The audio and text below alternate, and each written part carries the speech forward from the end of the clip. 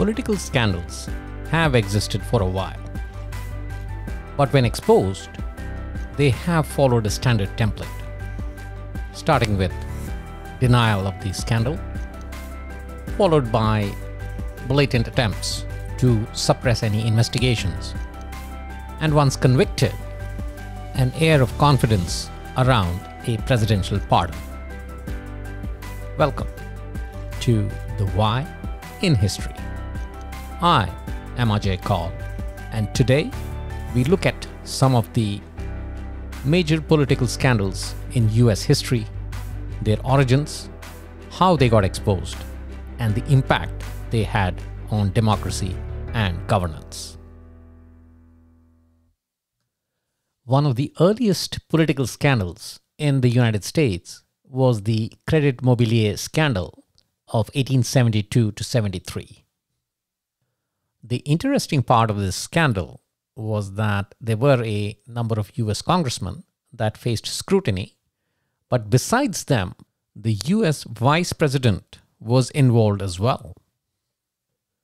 In July of 1862, President Abraham Lincoln signed into law the Pacific Railroads Act of 1862, which authorized extensive grants of land and issuance of government bonds to the Union Pacific Railroad and Central Pacific Railroad companies for the construction of a transcontinental railroad, meaning a railroad connecting the east and the west coasts of the United States.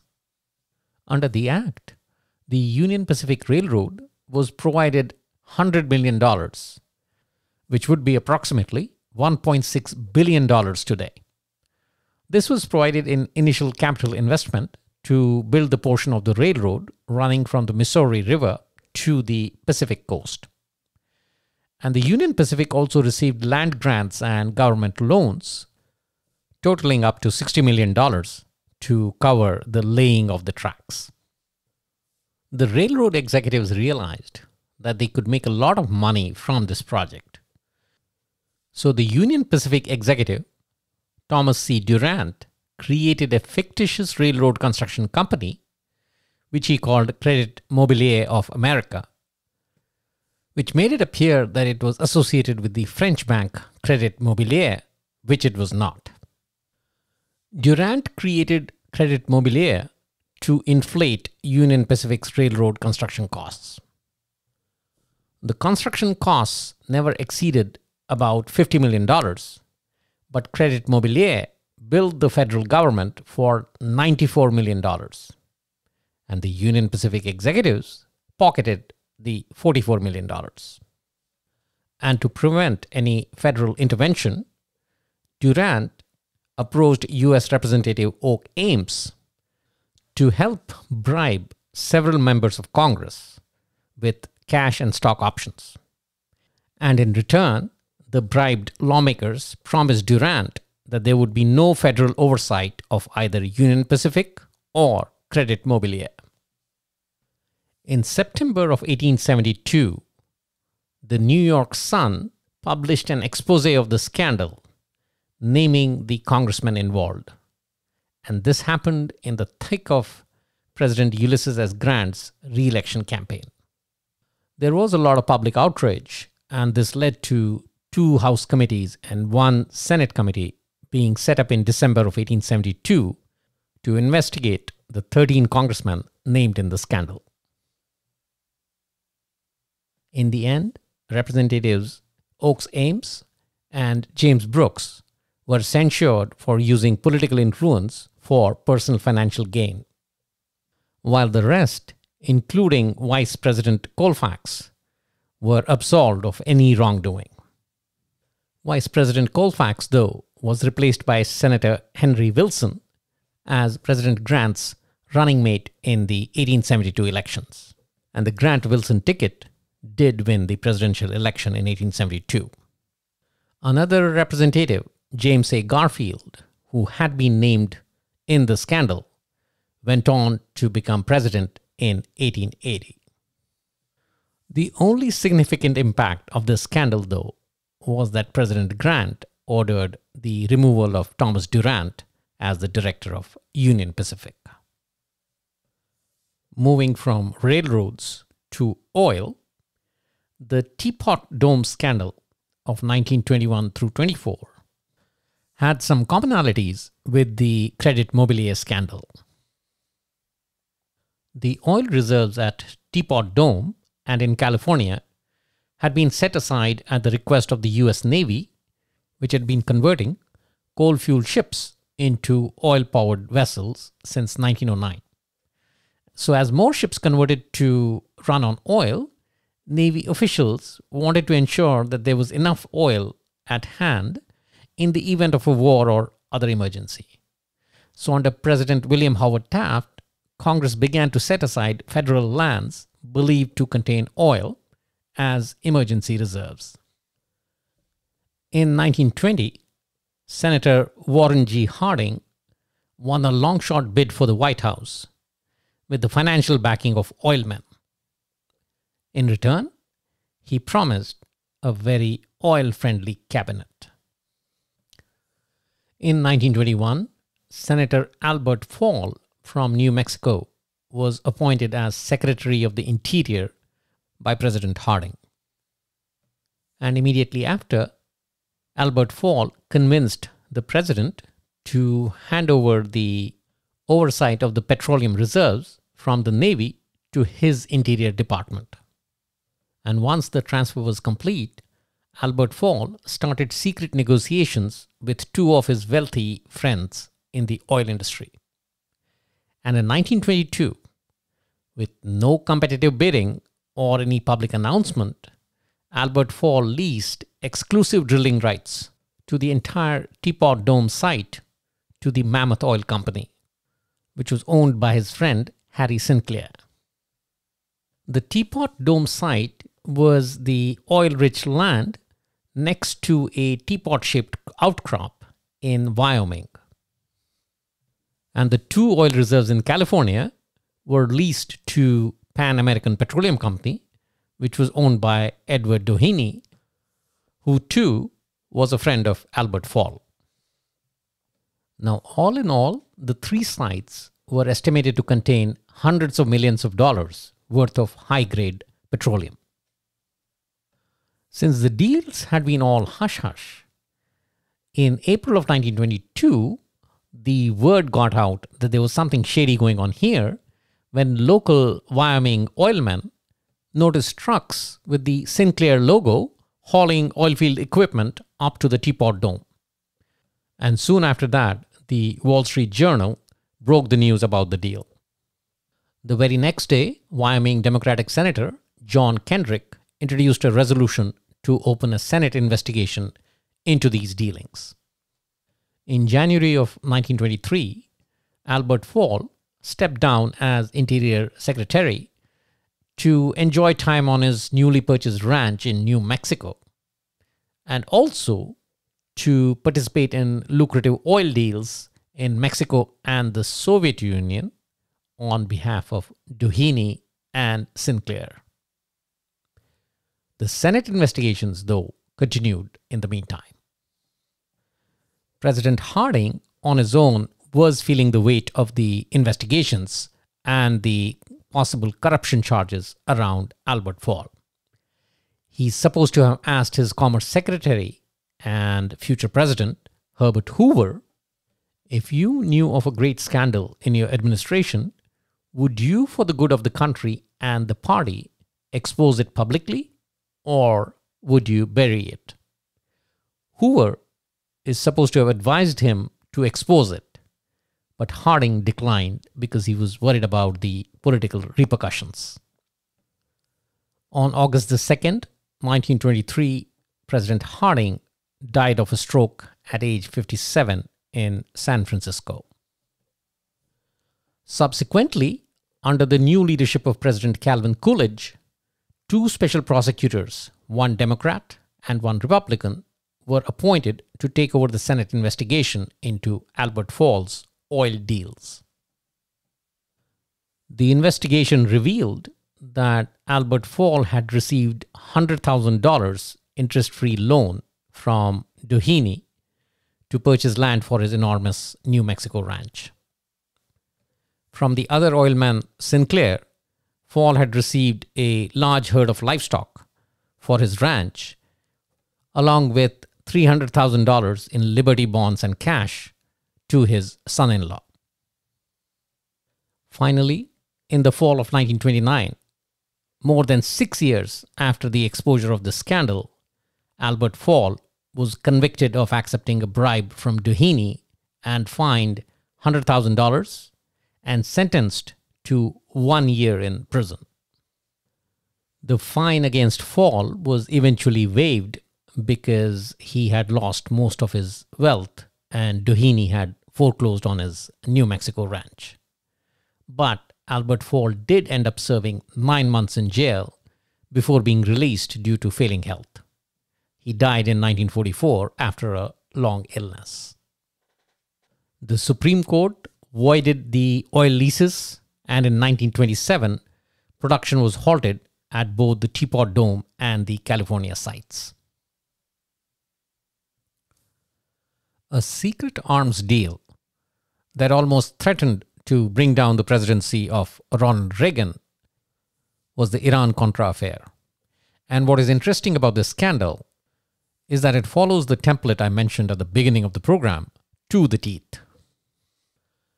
President Ronald Reagan won the White House in 1980, but he wasn't able to maintain his political momentum as the Democrats swept to majority in both the Senate and the House of Representatives in the 1982 midterm elections.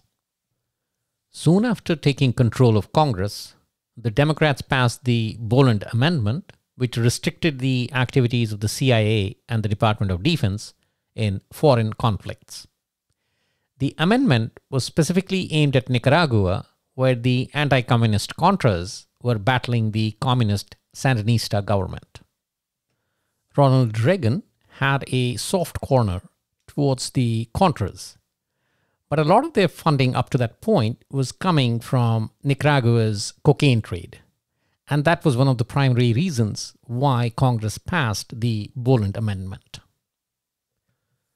But still, President Reagan instructed his national security advisor, Robert McFarlane, to find a way around the Boland Amendment and assist the Contras. Meanwhile, around the same time, the Middle East was engaged in a bloody conflict between Iran and Iraq and the Iranian backed Hezbollah were holding hostage seven Americans, diplomats and private contractors, in Lebanon. And President Reagan wanted to find a way to bring these hostages home. And in 1985, Robert McFarlane informed Ronald Reagan that Iran had approached the United States about purchasing weapons for its war against Iraq. Wait, hadn't the US imposed a trade embargo on Iran after 52 American hostages had been held for 444 days after the Ayatollah Khomeini came to power in Iran? Yep, that is true. And that is the reason Secretary of State George Shultz and Secretary of Defense Caspar Weinberger were against this proposal from Robert McFarlane. McFarlane agreed with George Shultz and Caspar Weinberger, but he counter argued that going forward with this deal would help the United States improve its relations in that area, especially with Lebanon.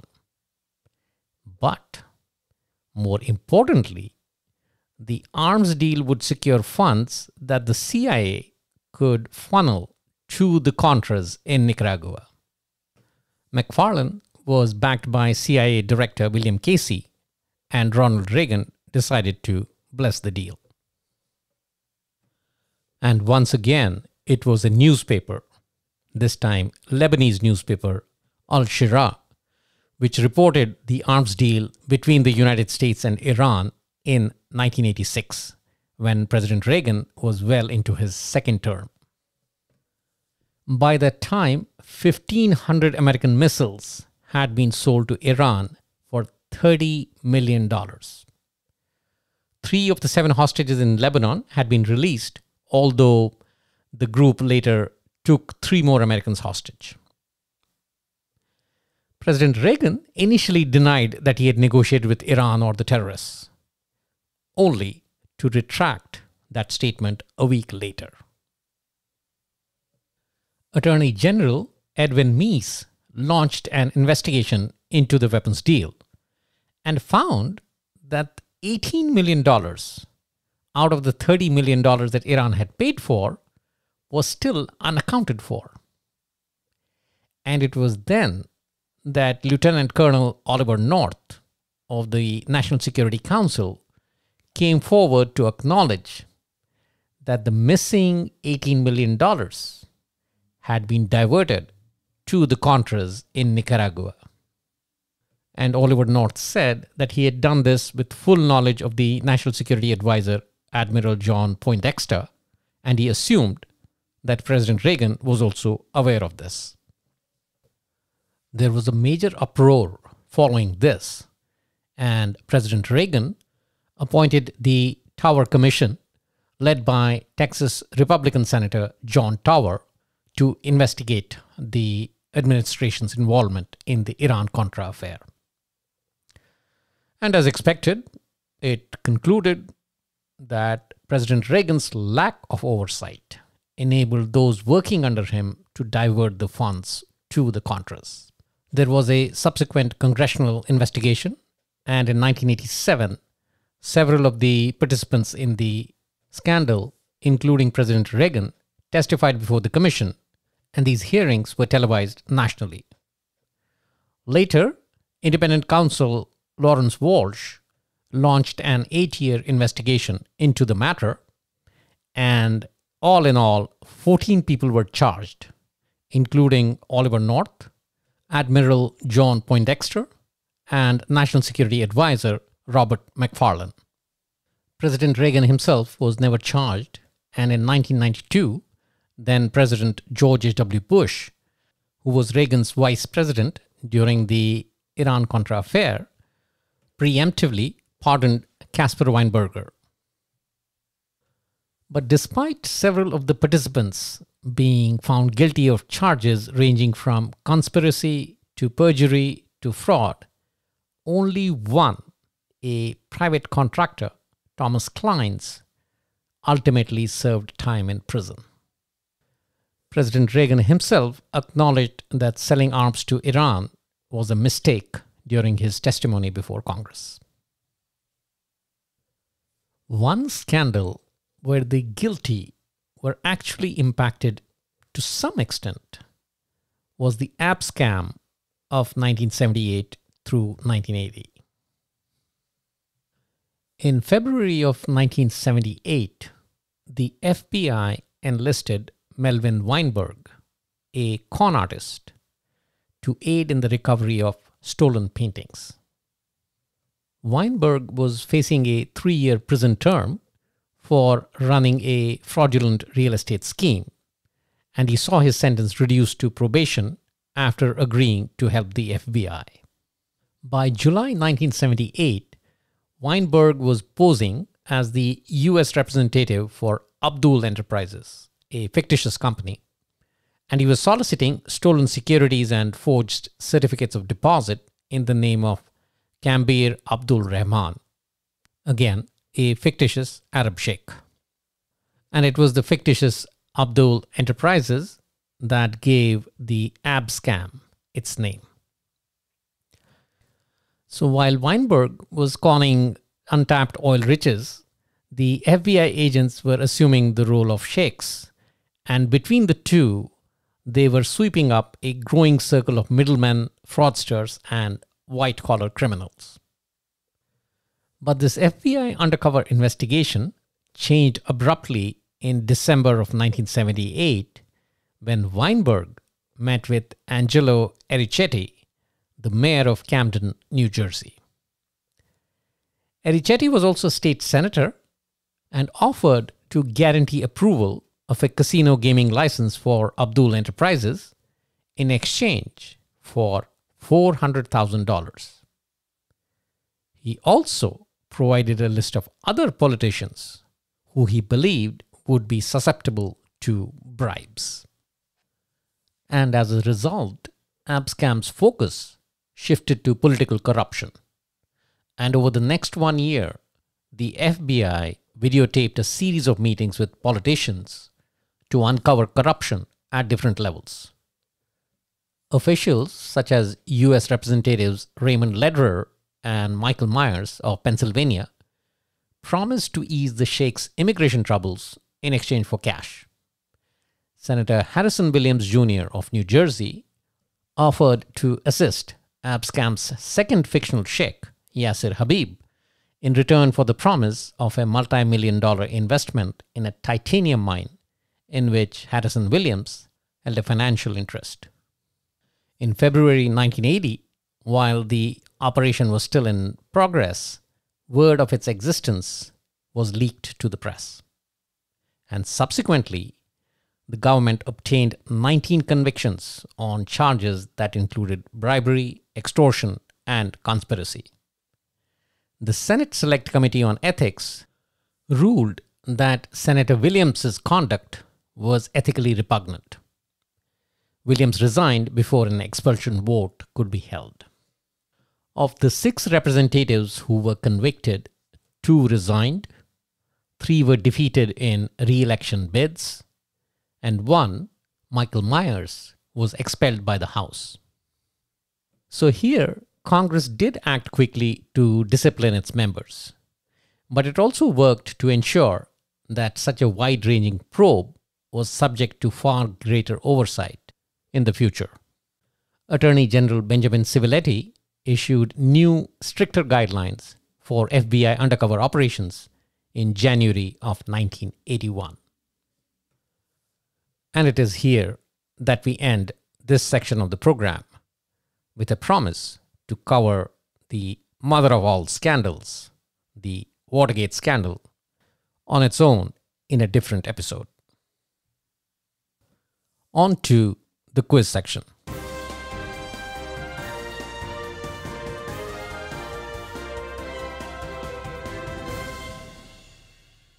Question from the previous episode Which country has not yet signed the UNCLOS or the United Nations Convention on the Law of the Sea. The United States believes that some of the provisions of the UNCLOS treaty are not free market friendly and are designed to favor the economic systems of the communist states. And as a result, it is yet to sign the UNCLOS. So the answer is C, the United States.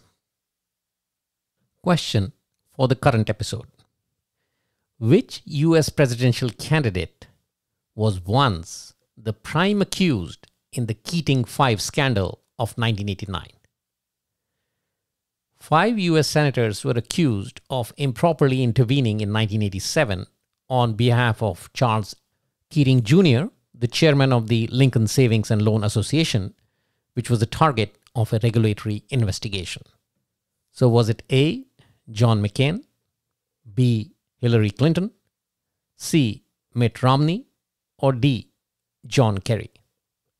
Once again, which US presidential candidate was once the prime accused in the Keating 5 scandal of 1989? Was it A. John McCain, B. Hillary Clinton, C. Mitt Romney, or D. John Kerry? The answer will be provided in the next episode.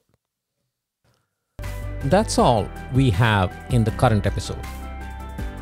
In the next episode, we look at one of the long and bloody conflicts in the Middle East, which lasted eight long years and had an impact on the political and economic landscape within the Middle East. I'm talking about the Iran Iraq War of 1980. Till then, stay safe and keep looking for the why in history.